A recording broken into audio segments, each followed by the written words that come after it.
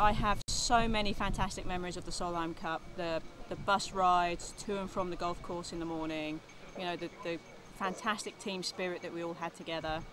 Um, Alison as our captain was just tremendous, and you know the the one thing was the final day, all charging up the 18th green together, knowing that, that we had won. I mean that really was something very special because it was something that we had had been dreaming of all week, and it finally came to fruition on that final day.